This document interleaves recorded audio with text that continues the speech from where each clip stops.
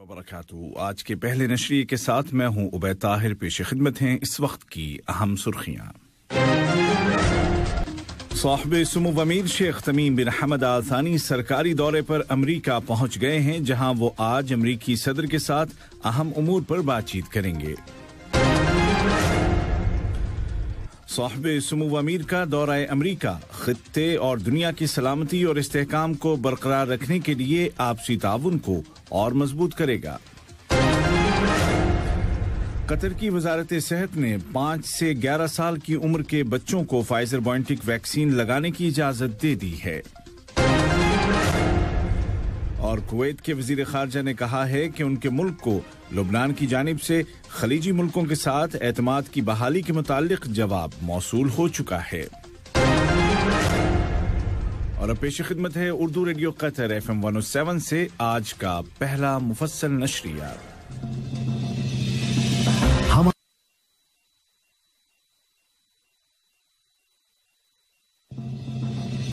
बिस्मिल्लाहिर्रहमानिर्रहीम।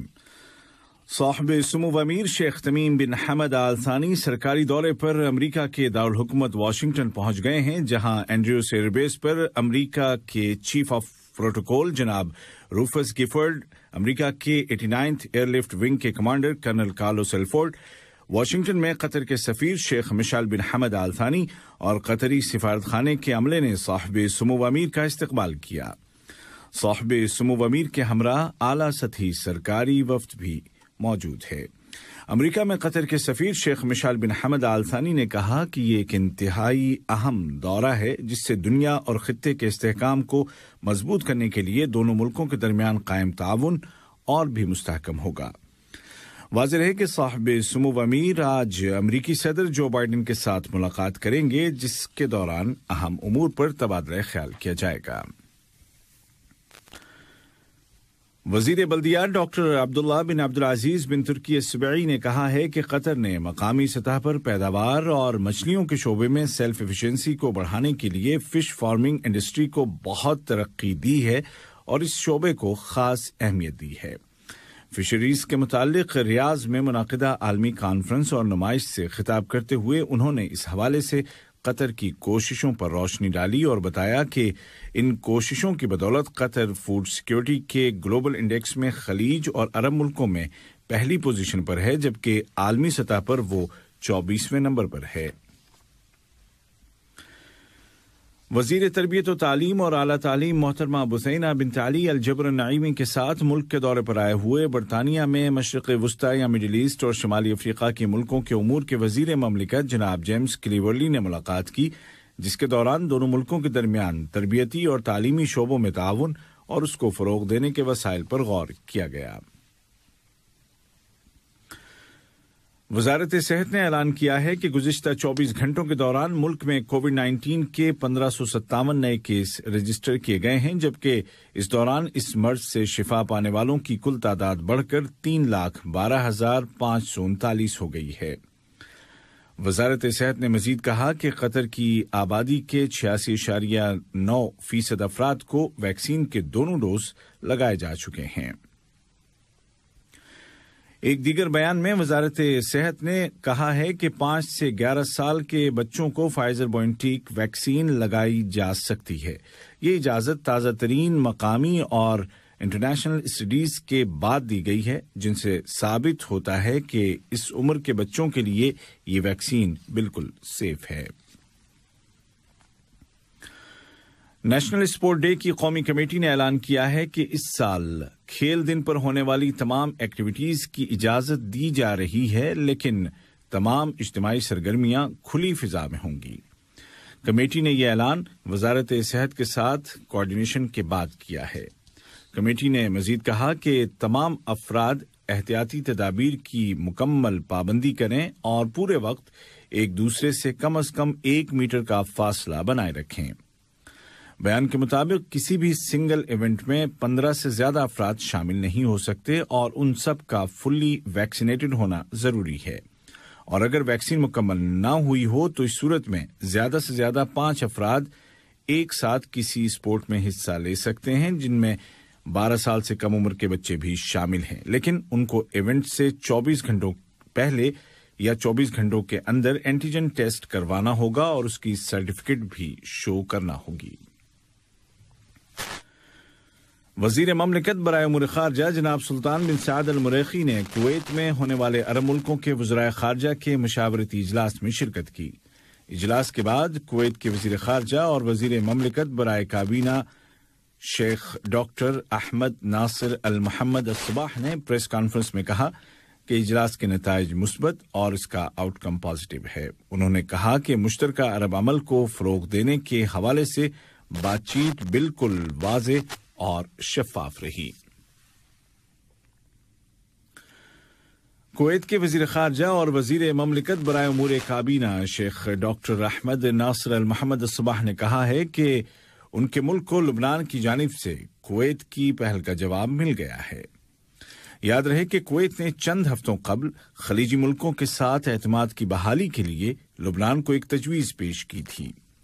कुवैती वज़ीर खारजा ने कहा कि लुबनान का जवाब खलीज और लुबनान के दरमियान एतमाद साजी के इकदाम के जिम्न में एक मुस्बत कदम है।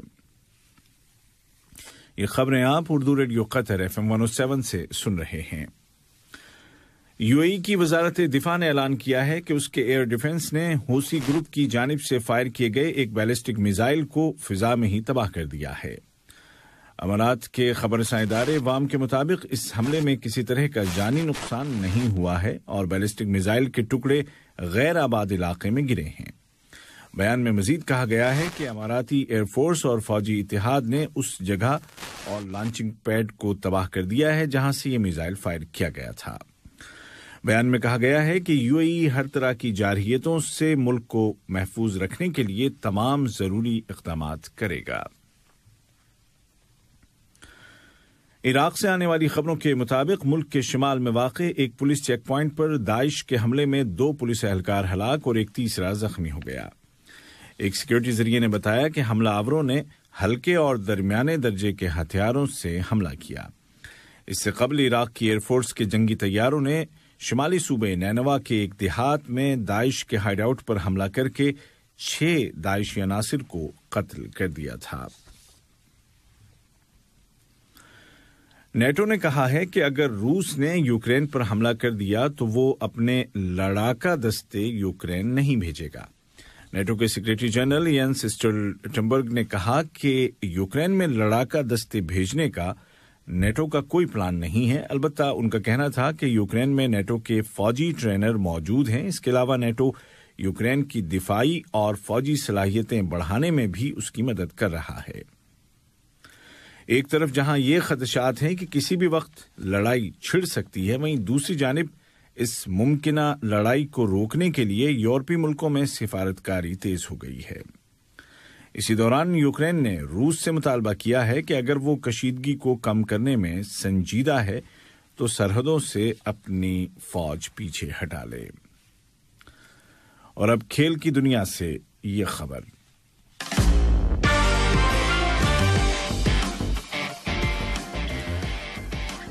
वेस्टइंडीज ने पाँच मैचों की टी ट्वेंटी सीरीज़ में मेहमान इंग्लैंड को तीन दो से शिकस्त दे दी है।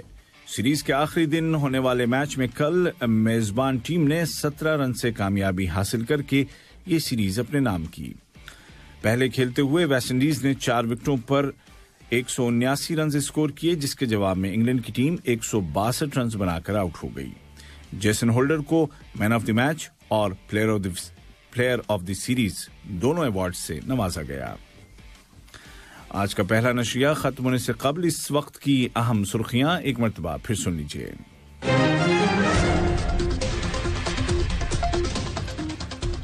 साहब सुमुव अमीर शेख तमीम बिन हमद आलसानी सरकारी दौरे पर अमरीका पहुँच गए हैं, जहाँ वो आज अमरीकी सदर के साथ अहम उमूर पर बातचीत करेंगे। साहब सुमुव अमीर का दौरा अमरीका खत्े और दुनिया की सलामती और इस्तेकाम को बरकरार रखने के लिए आपसी ताउन को और मज़बूत करेगा। कतर की वजारत सेहत ने पाँच से ग्यारह साल की उम्र के बच्चों को फाइजर बॉइंटिक वैक्सीन लगाने की इजाज़त दे दी है। कुवैत के वज़ीर खारजा ने कहा है कि उनके मुल्क को लुबनान की जानब से खलीजी मुल्कों के साथ एतमाद की बहाली के मुतालिक जवाब मौसू हो चुका है। Urdu radio Qatar FM one seven seven से आज का पहला नशरिया अपने अख्ताम को पहुँचा। उबैद ताहिर और तकनीकी माविन मोहम्मद हसन सुडानी को इजाज़त दीजिए। खुदा हाफिज। सलाम अलैकुम दोस्तों, मैं हूँ शेख नूर। आप देख रहे थे कतर न्यूज़ टुडे। मुझे उम्मीद है कि ये वीडियो आपको इंफॉर्मेटिव लगी होगी। इसी तरह के वीडियो पाते रहने के लिए नूर टेम ट्वेंटी फोर बार सेवन यूट्यूब चैनल को सब्सक्राइब कीजिए और इस वीडियो को लाइक, कमेंट और शेयर ज़रूर कीजिए।